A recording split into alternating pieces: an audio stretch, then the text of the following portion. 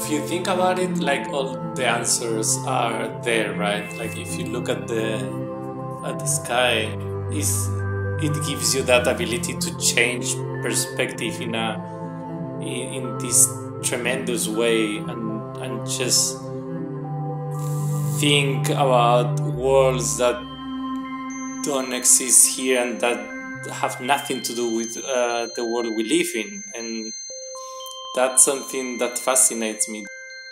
Where art and um, science meet is a sweet spot